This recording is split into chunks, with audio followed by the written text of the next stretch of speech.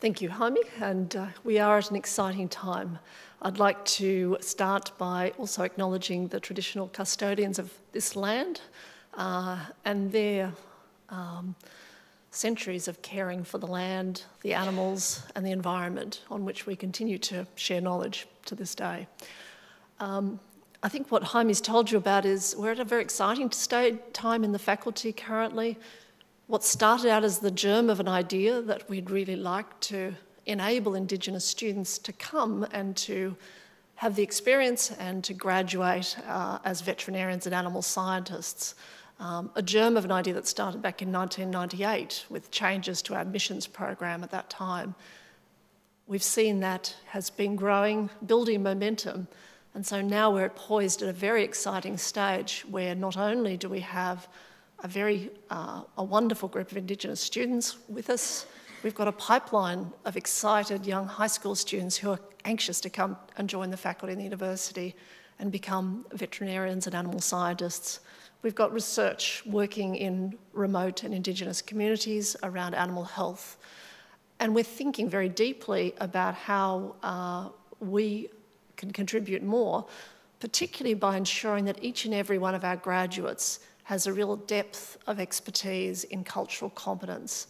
Because if we have cultural competence as a core skill for each and every one of our graduates, and a good understanding of how that applies in Australia for our Indigenous peoples, um, that is just as relevant. Those skills are equally relevant and applicable for those graduates wherever they might be working, may it be in the back, um, the mountains of Laos and Cambodia, or across in Africa, wherever it is that students and graduates go to work, cultural competence is something that uh, enriches and enables them to do to achieve so much more in their careers and to contribute so much more. So I think we're at a very exciting time, and it's my great pleasure. Um, in addition to acknowledging um, the generous support that we've had through our uh, DVC Indigenous office that's made much of this possible recently, but also to um, acknowledge the, the very deep engagement we see across the faculty. Many people are excited, enthusiastic, and involved. And today we're going to hear from one of our um, veterinary leaders in the faculty. Uh, Professor Michael Ward is Professor of uh, Food Safety and Veterinary Public Health in our faculty. He's an alumnus of University of Queensland, uh, went to Davis and did a master's and PhD programs in veterinary public health, uh, has worked a number of universities in the States, is a board certified um, epidemiologist, and has spent a number of years working in Department of Primary Industries in Australia. And then we were very fortunate to be able to recruit him to come to Sydney, I guess about seven years ago now, is it, Michael? Something like that. So um, since Michael's been with us, he's generated a fantastically broad and deep research program across a whole range of areas of public health, epidemiology, and food safety. And today we're going to hear, I think, one of his most exciting projects, which is looking at the potential impact of the big question what would happen if rabies, that we know is just across the water in Indonesia, and making real incursions through Bali and through the eastern Indonesian islands, what would happen if that was to come into Australia? Um, what could we expect and how, how are we going to, as a profession, help to deal with that? So it's my great pleasure to welcome Professor Michael Ward to take the stage. Thank you very much, Roseanne. It's a pleasure to be here. And yes, it has been seven years since I've been at Sydney. Um, and it's the longest I've ever been in one place at one time, I think, except since I was um, a young boy. So either I must really like the place or maybe I'm getting old. It's one or the other. No, I really do like being here. So, um, yeah, seven years ago I arrived in, in Sydney, or came back to Sydney.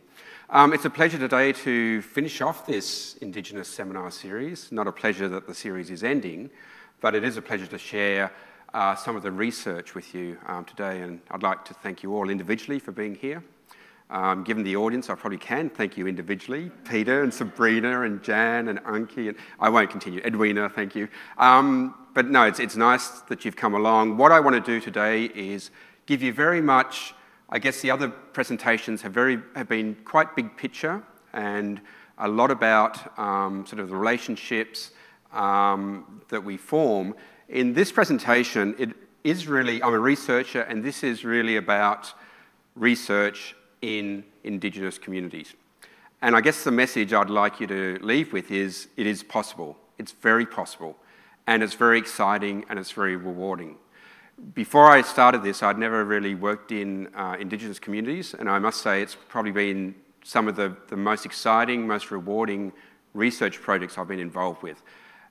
Just unbelievable the cooperation and the success. So, definitely, if you're thinking about forming partnerships and working in these communities, it's possible. It's very, very possible and um, highly desirable.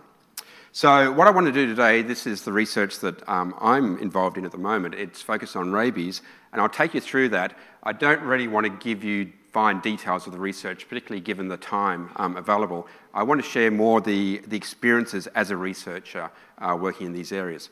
So, firstly, the, the partners. One thing about these sort of projects is you need to form lots of partnerships, and that's the only way these sort of research projects work. So, in our case, the partnerships principally have been with Queensland Health, and in particular the Tropical Health Unit based in Cairns, and Clayton Ambrew, who's from the Torres Islands. Um, and he's been just, just fantastic in helping us uh, get access and facilitate the research. We're also working in East Arnhem, so the East Arnhem Shire is a very progressive shire in that they employ their own vets. Um, so Emma Kennedy um, is the vet, she's a Melbourne graduate and she's helped enormously. And then the animal health workers there, Philippa, uh, Virginia, and Sharon. AMRRIC, who talked last week, and um, particularly John Scooter was here. Jan Allen, I think, has spoken um, here in the faculty. Bonnie, uh, Bonnie Cumming, who's an educational officer. Um, so they've helped us a lot in facilitating this research. We also work with government, so the Department of Agriculture, the Northern Australian Quarantine um, Strategy, so Beth Cookson and Chris Rod- Rodwell. And then in the Northern Peninsula area, and I'll talk about this in more detail, the uh, Environmental Health Office up there have been just tremendous in, in helping us uh, with this research. So, uh, firstly, um, Salome Dürr is a postdoc working with me, so she couldn't be here today. So, this is Salome. She's from Switzerland. So, once again, um, she's, she's funded by a fellowship. So, again, when you think someone from Switzerland working in some very remote Indigenous communities, you know, if that can happen, anything's possible. So, it really is possible to work quite productively in these communities. So this is Salome um, conducting some of the questionnaire uh, work we've done. So firstly, we had this great presentation last week from AMRRIC talking about dogs and the relationships, or, or, animals in general, but specifically dogs and their relationships with Indigenous communities.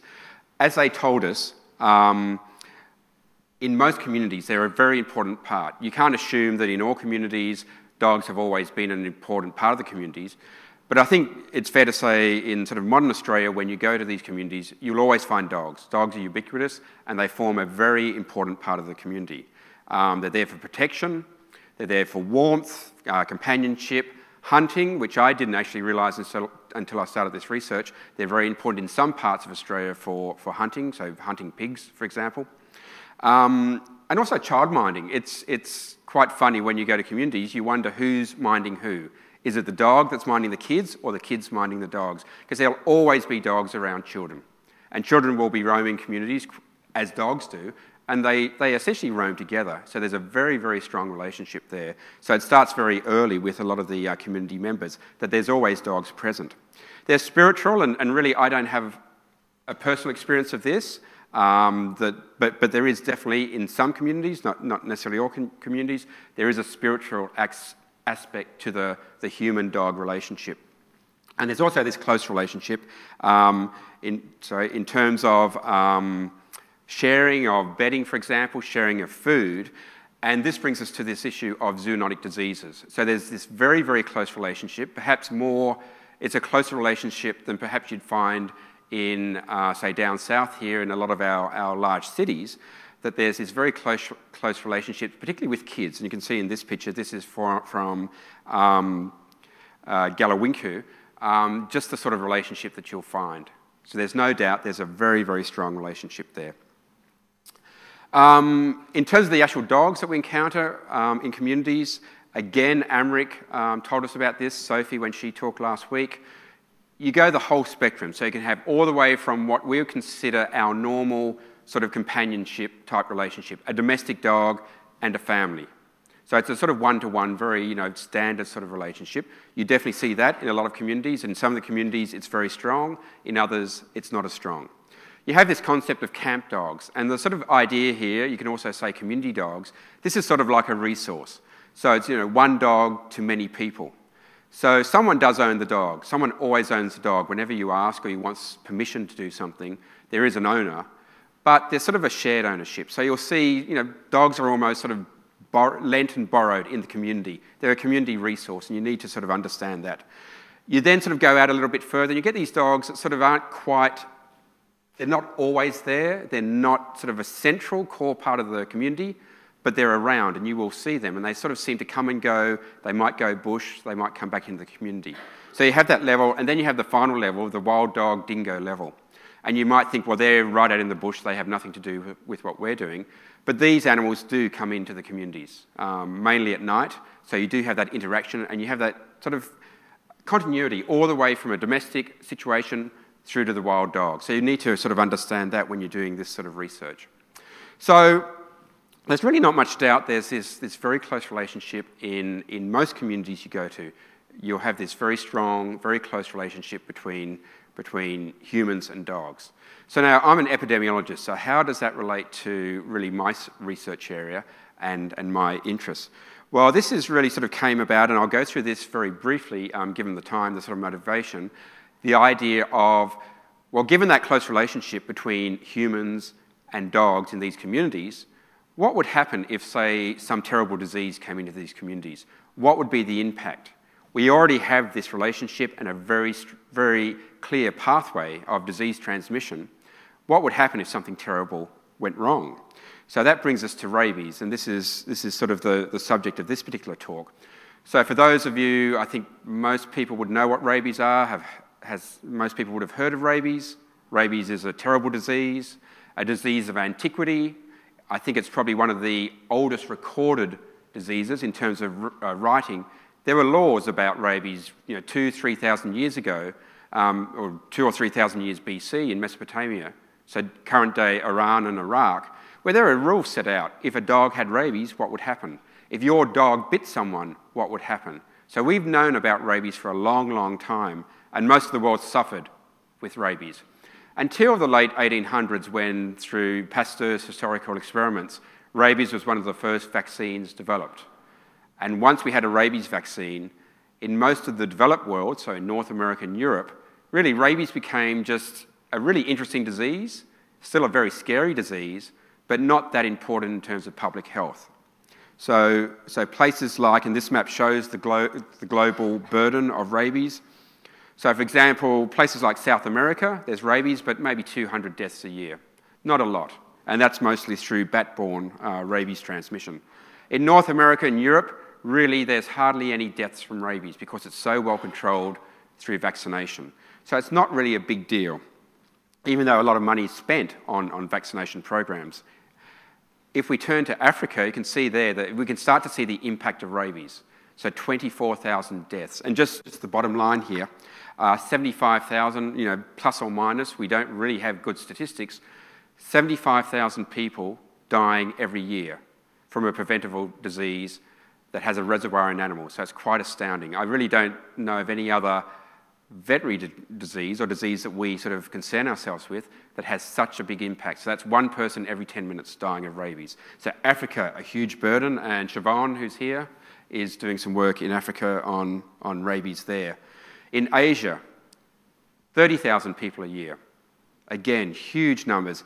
And in China, from what I've heard, things are really getting out of control with rabies. There's an increasing number of deaths every year in China at the moment. Um, India alone, 20,000 deaths. So you can see those sort of numbers, they're just mind boggling. When we move down to Southeast Asia, not as many, 800, 900, 1,000 maybe a year, but still an important disease in Southeast Asia. We move to Australia, we have actually had rabies in Australia, in Australia three cases. There was one, the very first one was in Tasmania, um, imported case, the other two are also imported cases. So these are people that have been exposed overseas and then returned to Australia. So just to clarify, Australia is rabies free. It is, except we have Australian bat virus, which looks like rabies, smells like rabies. Rabies vaccine works against it, but we don't consider it rabies. Because if we did, then Australia wouldn't be rabies free. so it's a little bit of a, a um, political sort of argument. So, so we consider ourselves rabies free. So there's the issue. So Australia is rabies free, but as Roseanne mentioned here, we have what's going in the last probably 10 to 20 years, we have rabies spreading throughout the eastern islands of Indonesia. So particularly we had this classic outbreak in Bali in 2008, which got a lot of publicity, but there's been a lot of other islands which aren't big tourist islands, but have succumbed to rabies. So they were rabies free, and we're getting this jump from island to island, moving eastwards uh, throughout the Indonesian archipelago. So that's, that's a major concern from us in terms of biosecurity. Uh, we've done work on it, and this is from NAQS, the uh, Northern Australia Quarantine uh, Strategy. So Beth Cookson, they did a risk assessment. You can see they categorised here the coastline of Australia and two areas of major concern for a potential rabies incursion. So the top end of the Northern Territory, and particularly Arnhem Land, and then also the top of the Cape. So there are two prime areas where we could see a rabies incursion. So it's well regulated. This is a picture I took when I was on a ferry from Thursday Island to Horn Island. This was a guy just moving his dog to Thursday Island to the vet, because the only vet there is on Thursday Island. But this is well regulated. You can move animals within certain zones. There's quarantine there, there's inspection. When you get off a ferry, there's an inspector there, and so on. So it's highly regulated. But there is that sort of movement going on. What's more of concern is the illegal movement or the uncontrolled movement. You have illegal activities, you have refugees, you have fishing boats, all in this northern area. And it's so big, so immense, it's virtually impossible to stop everything getting through. So, what would happen if one of these boats arrived with a rabid dog? What would be the impact? Well, the impact would be on Indigenous communities because that's what's up there Indigenous communities. If it came into, say, Cairns or Darwin, there probably wouldn't be such a big impact because we can very quickly control that. But what would happen if it got into some of our, our communities that don't have those facilities to respond. So, really, the research questions that we've been interested in is how might uh, rabies spread if it did come in? Uh, what would be the impact if rabies came in? And how could we best respond to such an incursion? What I'm going to do just very quickly, I'll, look, I'll address that incursion issue, but that's not the main point. The main point of this presentation are the other two uh, research questions. So the, um, the incursion sort of um, issue this was really funded by, um, under a project from the Australian Centre for International Agricultural Research, and this was sort of a risk assessment approach. I'll talk about that very quickly. And then the spread is funded under a program called Wildlife Exotic Disease Preparedness Program that funds this. Unfortunately, that was a victim of the federal budget, so that's been cut. So no, no longer will we have that funding. Going back to the, uh, the sort of the risk assessment and looking at the spread of rabies in Indonesia, one way of informing what might happen is what's gone on in the past. In Indonesia, or the former Dutch colony of the, um, the East Indies, there's great literature, great statistics on what happened when rabies came in. So we went through that, through the, these old journals that are 100, 120 years old, to try and look at the spread of rabies. So we did some of that work to try and inform why was rabies spreading. And it's, it's really the, the uncontrolled movement of animals as pets, uh, military, when the military moves animals, they move dogs and, and they're not subject to, to quarantine. And then um, the commercial activities of buying and selling dogs. Uh, we've also done some work in East Timor. So this is Timor-Leste um, on the island of Timor. Here, so West Timor, uh, part of Indonesia, Kupang down there. Edwina has spent time in Kupang, um, and she can talk to you about that later eating rice and beans, I think, most of the time. Um, we've done dog surveys in East Timor. So this is part of a risk assessment. If rabies came in, are there enough dogs, dogs to sustain infection? And this also relates to, um, to Northern Australia. Is there a critical mass of uh, street dogs or roaming dogs in those areas? So you can see here we worked with the university in Dili to do some uh, surveys on, you know, at that stage we didn't even know how many dogs there were in East Timor. And the same thing in Northern Australia, and we've done this in some of the uh, communities we work with. How many dogs are there? And that's part of also a dog management um, issue that, that uh, AMRRIC talked about last week. Uh, risk assessment work we've done in Indonesia, um, expert opinion, developing risk assessment um, models to try and estimate what's the likelihood of rabies moving from one island to the next? Um, and this is some of the practical outcomes, developing strategies, and this is in, in Dili in East Timor, developing strategies to, to deal with rabies um, if an incursion um, occurred. Okay, so that's all sort of, that's one part of the project, and that's very sort of over the border and what's happening. What's happening in Indonesia, and what are the chances of rabies spreading to Australia? So it's very much a biosecurity quarantine uh, focus. But really, the main thing I want to talk to you about today in the next, let me see, I've got what, 10, 15 minutes for about 60 slides. Um, so it's going to be pretty quick. I'm going to talk about our work actually in Indigenous communities here um, up in the north. So just to put this in context, um, the ultimate aim of this is to develop a model, so a disease spread model. This is a mathematical uh, model, computer-based model, that we could look at if rabies came in, what would be the impact? How fast would it spread? How far would it spread? How many dogs might be affected? How many people might be infected? How much vaccine do we need? How would we manage the situation? So we do that. We don't have the disease here. We need to create a model. But to create a model, what we need is the key part of any disease model. Um, a lot of the information you can just get from the literature. The key part is this infection if you have susceptible dogs, so these might be, you might have 500 dogs in a community, what's the probability that they're going to become infected? That's really something that we don't know and we need to estimate. So that's sort of really where we're going with this sort of research. So it's something called a, a disease spread parameter. We need to estimate what's the likelihood of spread. Now, there's two things that that depends on. It depends on the contact. So anything, whether it's humans or chickens or dogs or cattle, it's what's the chance, for example, if I have influenza, what's the chance that I can contact you in a day or a week or a month? And that's something we can actually measure because we can actually we can observe contacts or you know I can talk to you, I can ask you, you know, who did you meet today? Uh, go through that. And the other one is given we had contact, what's the chance of transmission? The latter we usually get out of um, experimental trials, um, out of the literature. So that comes down to it. To de develop a rabies model, we need contact information. How often do dogs come into contact sufficient to transmit rabies if rabies was present? So you can go to the literature, there's nothing at all. We don't know what the contact rates are between dogs.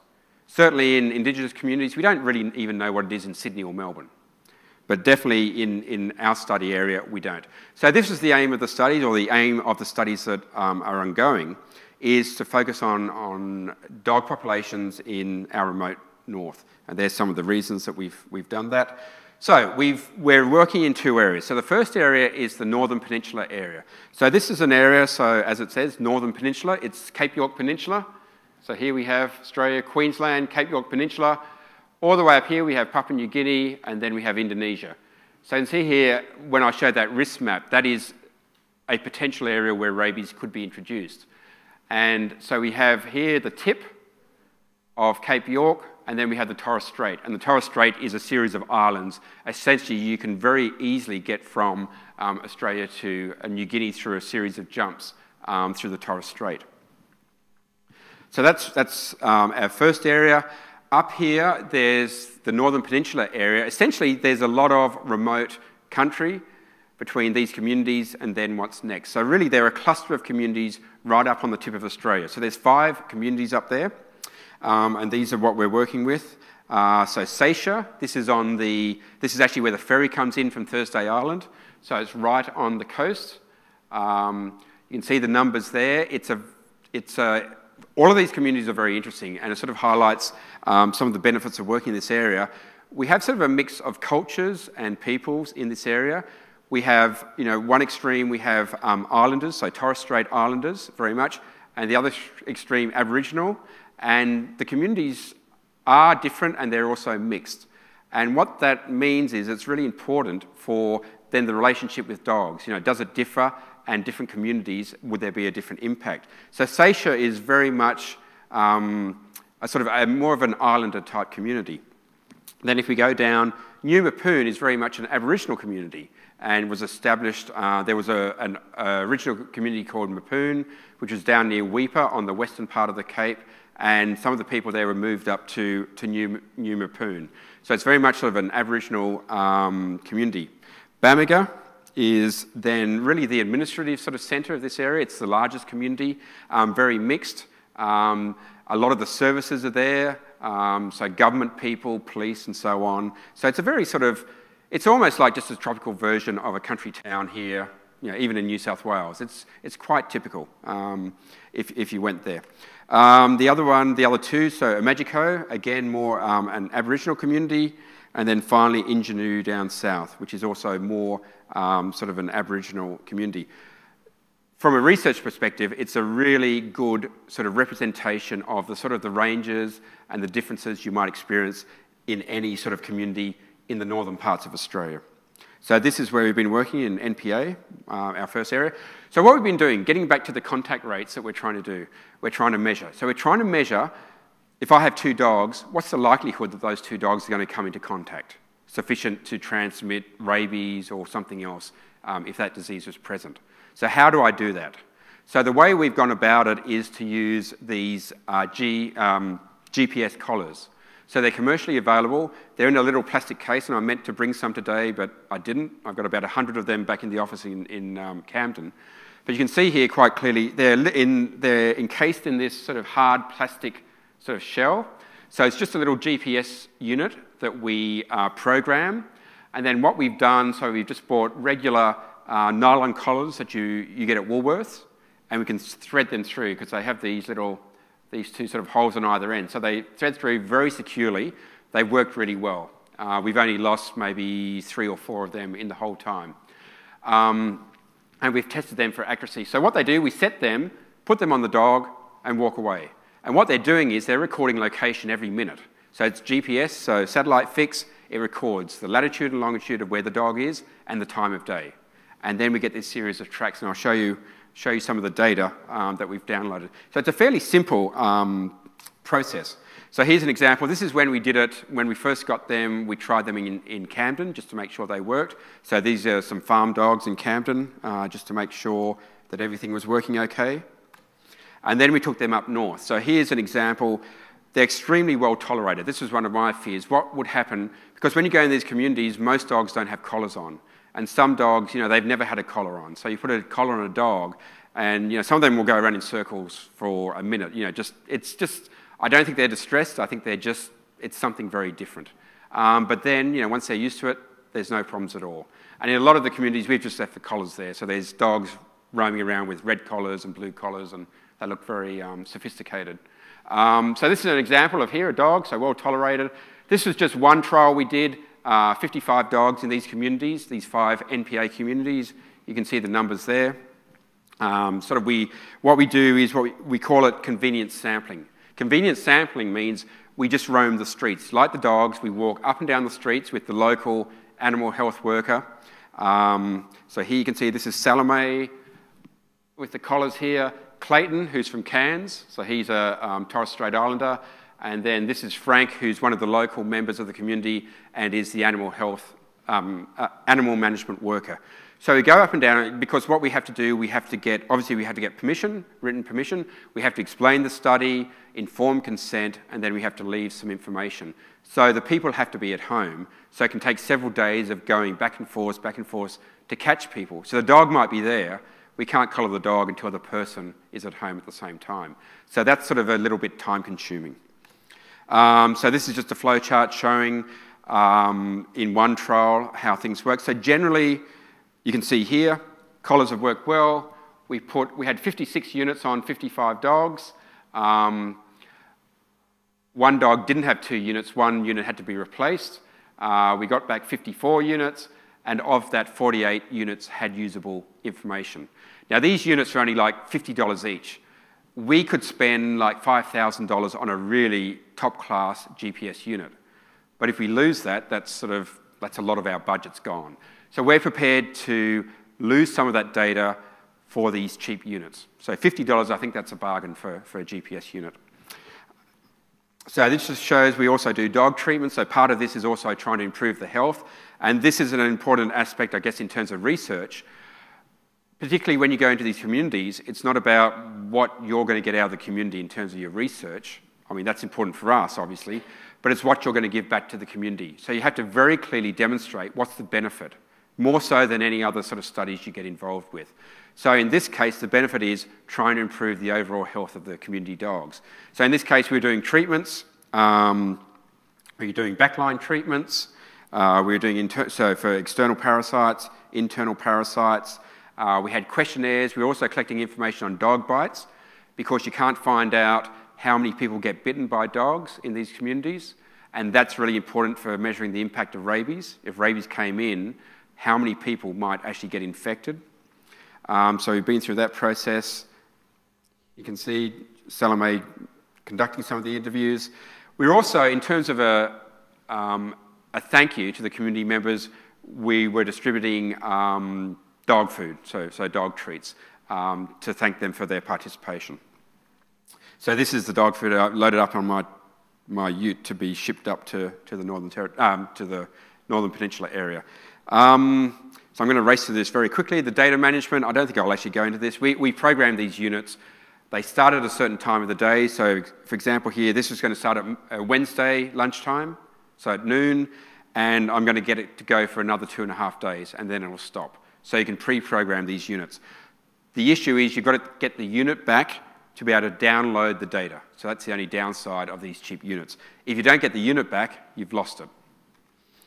So this is just downloading the data, you can see here. Uh, we, have, we can get, these are cheap units, so we do get errors, but by going through the data, you can tell. If you suddenly get a recording way out here, you know that that's just the wrong fix from the satellite, uh, not from the satellite, but the GPS unit.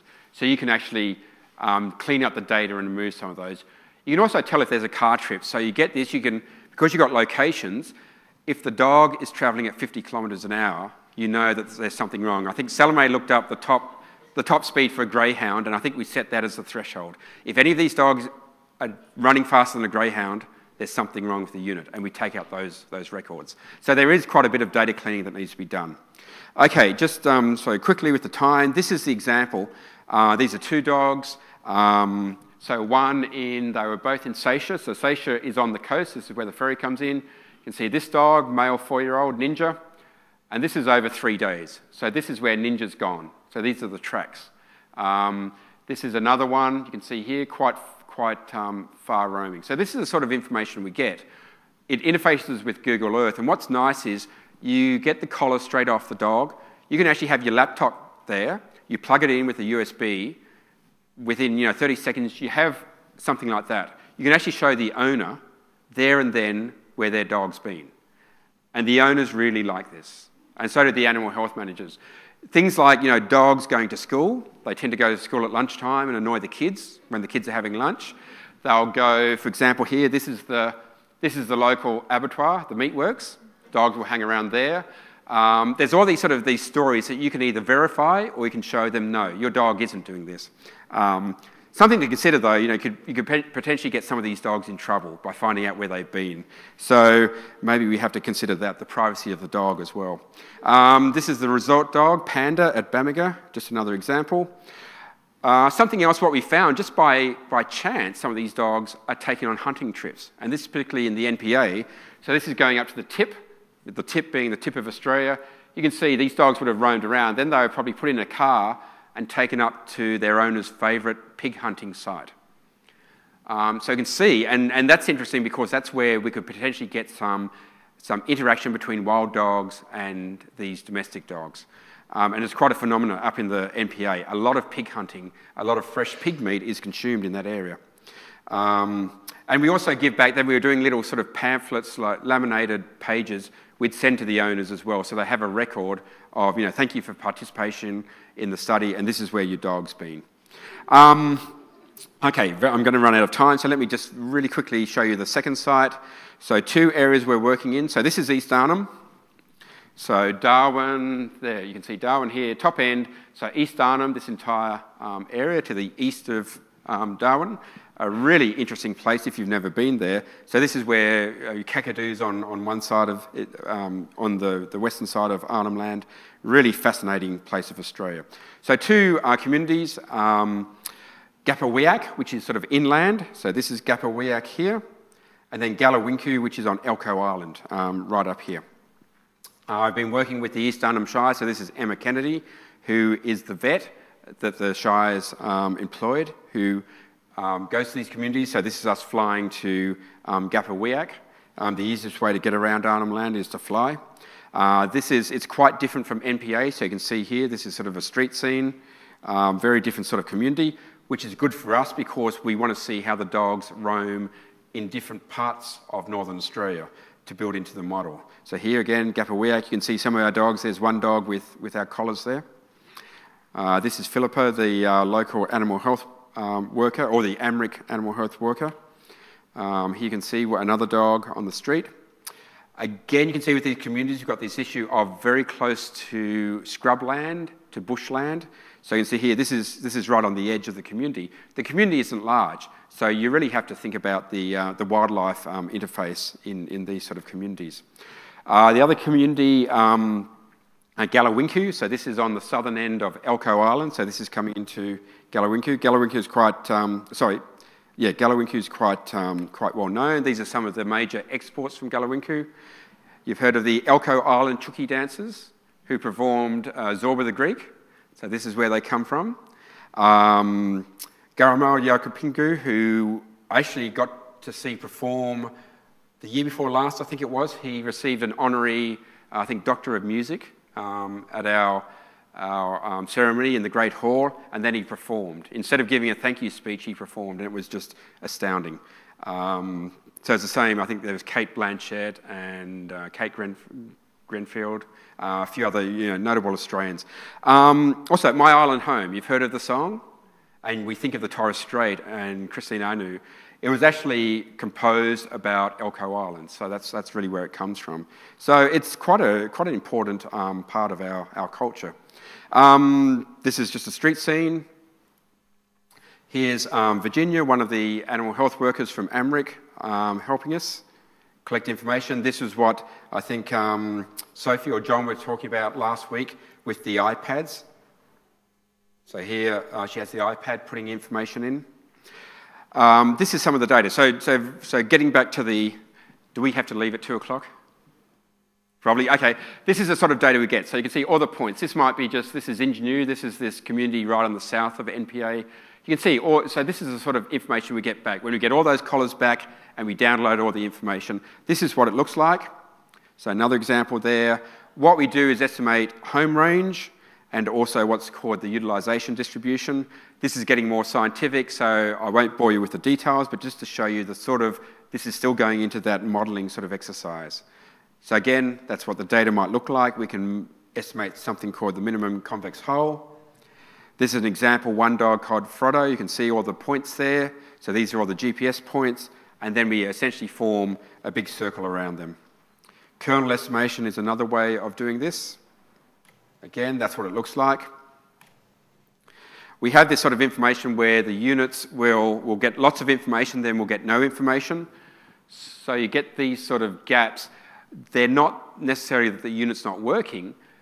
If a dog goes under the house, so these are sort of Queenslander style houses, so if a dog goes under a house or goes under a car, the unit will stop working after a few minutes. So you have to deal with sort of this non-continuous data and the time aspect of, of the data. So what we do there, there's some other sort of, let me call fancy techniques that I won't go into now, uh, random, uh, bias random bridge estimation that can sort of take into account that and get an estimation of where those dogs have been. So really this is sort of what we're getting to, the contact rates. So you can see here, this is the information, this is the gold for a disease modeler. So now we're actually, this is what we wanted. After all of that effort, this is what we wanted. So dog 2 and dog 20. So two different dogs, their contacts per day were 2.2 contacts per day. And this was using, so they came within 20 metres and within one minute of, minute of each other about two times during that, two times per day during that period. 3 and 16, 11. So you can see most of them, we get that range. Some of them, these would probably be two dogs in the same household very high contact rates. But these are the numbers we need to then put into a model to estimate what would happen with if rabies came into northern Australia. So we do that, we, we can use this very readily in, in a model. Okay, so I'm pretty much done. I'll just summarise what we're doing. So we've Last year we started, we've repeated studies this year, and something quite unique is we went back and got the same dogs, um, almost all the same dogs. So we actually know how many dogs died during the period. And we're looking at last year we did pre wet season, so we've just gone back last month, post wet season. We can start to look at the same dog, do they change their patterns? Do they roam further before the wet season than after the wet season? We're also looking at um, gender. Do male dogs roam more than female dogs?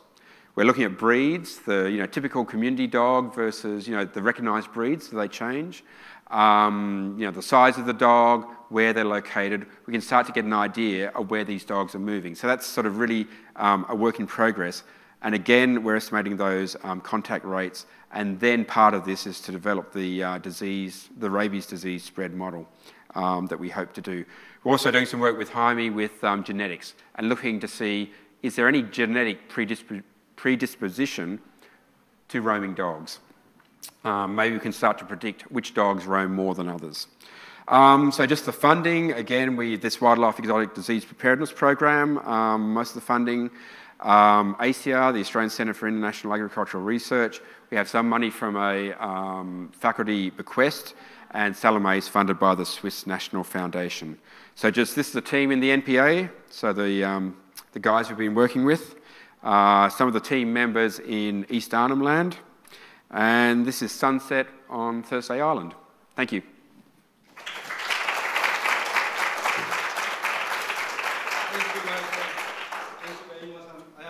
Mm. Uh, we may have just one quick, very quick question Eddie.